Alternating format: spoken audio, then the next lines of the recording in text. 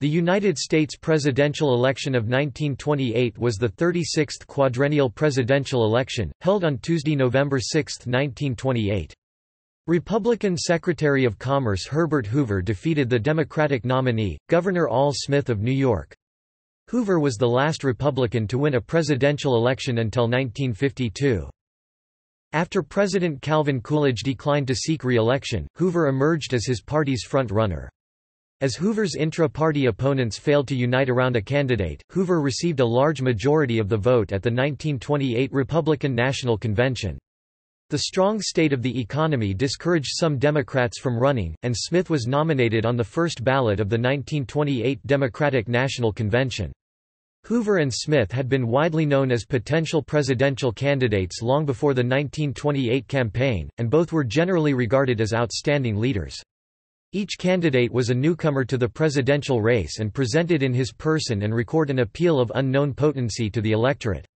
Each candidate also faced serious discontent within his party membership, and neither had the wholehearted support of his party organization. In the end, the Republicans were identified with the booming economy of the 1920s, whereas Smith, a Roman Catholic, suffered politically from anti Catholic prejudice, his anti prohibitionist stance, and his association with the legacy of corruption of Tammany Hall. Hoover won a third straight Republican landslide and made substantial inroads in the traditionally Democratic Solid South, winning several states that had not voted for a Republican since the end of Reconstruction. Hoover's victory made him the first president born west of the Mississippi River, and he is the most recent sitting member of the cabinet to win a major party's presidential nomination.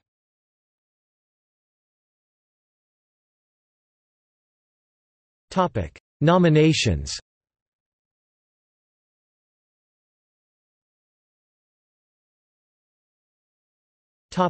Republican Party nomination Republican candidates With President Coolidge choosing not to enter the race, the race for the nomination was wide open. The leading candidates were Secretary of Commerce Herbert Hoover, former Illinois Governor Frank Orrin Lowden and Senate Majority Leader Charles Curtis. A draft Coolidge movement failed to gain traction with party insiders and failed to persuade Coolidge himself. In the few primaries that mattered, Hoover did not perform as well as expected, and it was thought that the president or vice president Charles G. Dawes might accept a draft in case of a deadlock, but Lowden withdrew just as the convention was about to start, paving the way for a Hoover victory. The Republican convention, held in Kansas City, Missouri, from June 12 to 15, nominated Hoover on the first ballot. With Hoover disinclined to interfere in the selection of his running mate, the party leaders were at first partial to giving Dawes a shot at a second term, but when this information leaked, Coolidge sent an angry telegram saying that he would consider a second nomination for Dawes, whom he hated, a personal affront. To attract votes from farmers concerned about Hoover's pro-business orientation, it was instead offered to Senator Curtis, who accepted. He was nominated overwhelmingly on the first ballot. In his acceptance speech eight weeks after the convention ended, Secretary Hoover said, We in America today are nearer to the final triumph over poverty than ever before in the history of this land. We shall soon with the help of God be in sight of the day when poverty will be banished from this land." The phrase would eventually haunt Hoover during the Great Depression.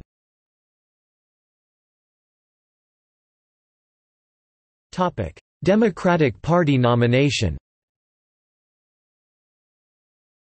Democratic candidates With the memory of the Teapot Dome scandal rapidly fading, and the current state of prosperity making the party's prospects look dim, most of the major Democratic leaders, such as William Gibbs McAdoo, were content to sit this one out. One who did not was New York Governor Al Smith, who had tried twice before to secure the Democratic nomination. The 1928 Democratic National Convention was held in Houston, Texas, on June 26 to 28, and Smith became the candidate on the first ballot. The leadership asked the delegates to nominate Senator Joseph Taylor Robinson of Arkansas, who was in many ways Smith's political polar opposite, to be his running mate, and he was nominated for vice president. Smith was the first Roman Catholic to gain a major party's nomination for president, and his religion became an issue during the campaign. Many Protestants feared that Smith would take orders from church leaders in Rome in making decisions affecting the country. Source: U.S. President, D. Convention our Campaigns, March 10, 2011. Topic: Prohibition Party nomination The Prohibition Party convention was held in Chicago from July 10 through July 12. Smith openly opposed prohibition. Some members of the Prohibition Party wanted to throw their support to Hoover, thinking that their candidate would not win and that they did not want their candidate to provide the margin by which Smith would win.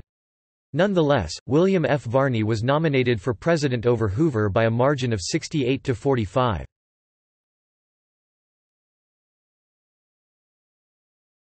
Topic: General election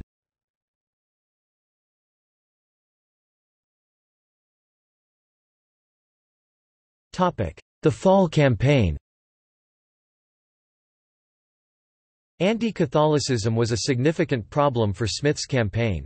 Protestant ministers warned that he would take orders from the Pope who, many Americans sincerely believed, would move to the United States to rule the country from a fortress in Washington, D.C., if Smith won. According to a popular joke, after the election he sent a one-word telegram advising Pope Pius XI to «unpack» Beyond the conspiracy theories, a survey of 8,500 Southern Methodist Church ministers found only four who supported Smith, and the Northern Methodists, Southern Baptists, and Disciples of Christ were similar in their opposition. Many voters who sincerely rejected bigotry and the anti-Catholic Ku Klux Klan, which had declined during the 1920s until the 1928 campaign revived it, justified their opposition to Smith on their belief that the Catholic Church was an un-American, alien culture that opposed freedom and democracy. An example was a statement issued in September 1928 by the National Lutheran Editors and Managers Association that opposed Smith's election. The manifesto, written by Dr. Clarence Reinhold Tappert, warned about the peculiar relation in which a faithful Catholic stands and the absolute allegiance he owes to a foreign sovereign who does not only claim supremacy also in secular affairs as a matter of principle and theory but who, time and again, has endeavored to put this claim into practical operation." The Catholic Church, the manifesto asserted, was hostile to American principles of separation of church and state and of religious toleration. Groups circulated a million copies of a counterfeit oath claiming that Fourth-degree Knights of Columbus members swore to exterminate Freemasons and Protestants and commit violence against anyone, if the Church so ordered. Smith's opposition to prohibition, a key reform promoted by Protestants, also lost him votes, as did his association with Tammany Hall. Because many anti-Catholics used these issues as a cover for their religious prejudices, Smith's campaign had difficulty denouncing anti-Catholicism as bigotry without offending others who favored prohibition or disliked Tammany's corruption. Due to these issues, Smith lost several states of the Solid South that had been carried by Democrats since Reconstruction. However, in many southern states with sizable African American populations and where the vast majority of African Americans could not vote at the time, many believed that Hoover supported integration, or at least was not committed to maintaining segregation, which in turn overcame opposition to Smith's campaign. During the campaign, Mississippi Governor Theodore G. Bilbo claimed that Hoover had met with a black member of the Republican National Committee and danced with her. Hoover's campaign quickly denied the untruthful and ignoble assertion. Smith's religion helped him with Roman Catholic New England immigrants especially Irish Americans and Italian Americans, which may explain his narrow victories in traditionally Republican Massachusetts and Rhode Island, as well as his narrow loss in his home state of New York, where previous Democratic presidential candidates lost by double digits, but which Smith only lost by 2%.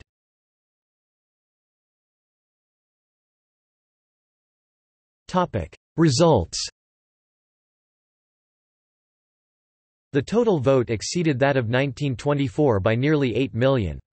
It was nearly twice the vote cast in 1916 and nearly three times that of 1896.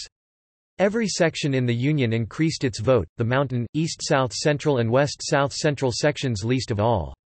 The greatest increases were in the heavily populated northeastern mid-Atlantic and east-north central sections, where more than 4,250,000 more votes were cast, more than half of the nationwide increase. There was an increase of over a million each in New York and Pennsylvania. Hoover won the election by a wide margin on pledges to continue the economic boom of the Coolidge years. He received more votes than any candidate of the Republican Party previously had in every state except five, Rhode Island, Iowa, North Dakota, South Carolina, and Tennessee. The Hoover vote was greater than the Coolidge vote in 2,932 counties, it was less in 143 of the comparable counties. The 21,400,000 votes cast for Hoover also touched the high water mark for all votes for a presidential candidate up to that time and were an increase of more than 5,500,000 over the Coolidge vote four years earlier. The Republican ticket made substantial inroads in the South. The heaviest Democratic losses were in the three southern sections South Atlantic, East South Central, West South Central. These losses included 215 counties that had never before supported a Republican presidential candidate, distributed as follows: Alabama 14, Arkansas 5, Florida 22, Georgia 4, Kentucky 28, Maryland 3, Mississippi 1, Missouri 10, North Carolina 16, Tennessee 3, Texas 64, Virginia 26, West Virginia 4. In Georgia, 8 counties recorded more votes cast for anti-Smith electors than either of the two-party candidates, while one county in Wyoming had no recorded votes. The electoral votes of North Carolina and Virginia had not been awarded to a Republican since 1872, while Florida had not been carried by a Republican since the heavily disputed election of 1876. Texas was carried by a Republican for the first time in its history, leaving Georgia as the only remaining state never carried by a Republican presidential candidate. Georgia was eventually won by Barry Goldwater in 1964. In all, Smith carried only six of the 11 states of the former Confederacy, the lowest number carried by a Democratic candidate since the end of Reconstruction. Smith polled more votes than any previous Democratic candidate in 30 of the 48 states, all but Alabama, Colorado, Delaware, Idaho, Kansas, Kentucky, Montana, Nevada, New Mexico, North Carolina, Oklahoma, Oregon, South Carolina, Tennessee, Texas, Utah, Virginia, and Washington. In only four of these Tennessee, Oklahoma, Texas, and New Mexico did Smith receive fewer votes than Davis had in 1924. Smith received nearly as many votes as Coolidge had in 1924, and his vote exceeded Davis's by more than six and a half million. The Democratic vote was greater than in 1924 in 2,080 counties, it fell off in 997 counties. In only one section did the Democratic vote drop below 38%, and that was the Pacific section, the only one in which the Republican percentage exceeded 60%. But the Democrats made gains in five sections. Of these counties, 14 had never been Democratic and seven had been Democratic only once. The size and the nature of the distribution of the Democratic vote illustrates Smith's strengths and weaknesses as a candidate. Despite evidence of an increased Democratic vote, Smith's overwhelming defeat in the Electoral College and the retention of so few Democratic counties reflected Hoover's greater appeal. Smith won the electoral votes of only the deep southern states of the Democratic Solid South plus Robinson's home state of Arkansas and the New England states of Massachusetts and Rhode Island, which had a large proportion of Catholic voters. His 87 electoral votes were the fewest a Democratic candidate had won since the 80 votes earned by Horatio Seymour in 1868 not counting Horace Greeley in 1872, who was endorsed by the Democratic Party, but ran as a liberal Republican. Hoover even triumphed by a narrow margin in Smith's home state of New York. Smith carried 914 counties, the fewest in the fourth-party system. The Republican total leapt to 2,174 counties, a greater number than in the Great Overturn of 1920. Third party support sank almost to the vanishing point, as the election of 1928 proved to be a two party contest to a greater extent than any other in the fourth party system. Until the major split before the 1948 election in the Democratic Party between Southern Democrats and the more liberal Northern faction, no further significant third-party candidacies as seen in 1912 and 1924 were to occur. All other votes totaled only 1.08% of the national popular vote. The socialist vote sank to 267,478, and in seven states there were no socialist votes. This was the last election in which the Republicans won North Carolina until 1968, the last when they won Kentucky and West Virginia until 1956, the last when they won Arizona, California, Florida, Idaho, Illinois, Minnesota, Missouri, Montana, Nevada, New Mexico, Oklahoma, Tennessee, Texas, Utah, Virginia, and Washington until 1952 1942, the last when they won Maryland, New Jersey, New York, and Oregon until 1948, the last when they won Ohio, Wisconsin, and Wyoming until 1944, and the last when they won Colorado, Indiana, Iowa, Kansas, Michigan, Nebraska, North Dakota and South Dakota until 1940. As of 2016 it remains the last election when the Republican candidate carried the three contiguous counties of St. Louis County, Minnesota, Carlton County, Minnesota and Douglas County, Wisconsin, and the last until Donald Trump in 2016 when the Republicans carried neighboring Itasca County, Minnesota, Columbia County, Oregon or Grays Harbor County, Washington. It is also the last occasion when Wayne County, Michigan supported a Republican candidate and the only occasion since 1908 when Republicans have carried Orange County, North Carolina. Source Popular Vote, Leip, David. 1928 Presidential Election Results. Dave Leip's Atlas of U.S. Presidential Elections. Retrieved July 28, 2005. Source Electoral Vote. Electoral College box scores 1789 to 1996. National Archives and Records Administration. Retrieved July 28, 2005. Topic: Geography of results.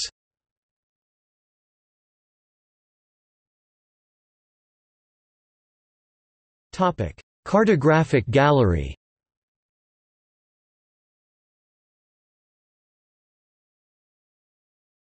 Topic: Results by state.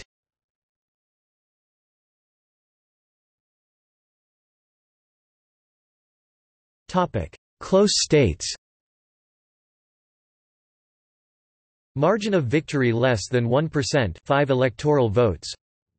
Rhode Island 0.61% margin of victory less than 5% 95 electoral votes. Massachusetts 1.09% New York 2.35% Alabama 2.84% Texas 3.67% margin of victory between 5% and 10% 60 electoral votes. Utah 7.72% Tennessee 7.72% Virginia 8.01% Connecticut 8.06% Wisconsin 9.24% North Carolina, 9.87%. Topic: Statistics. Counties with highest percent of vote Republican. Jackson County, Kentucky 96.52%. Leslie County, Kentucky 94.51%. Alpine County, California 94.23%. Johnson County, Tennessee 93.74%. Sevier County, Tennessee 92.57% Counties with highest percent of vote Democratic.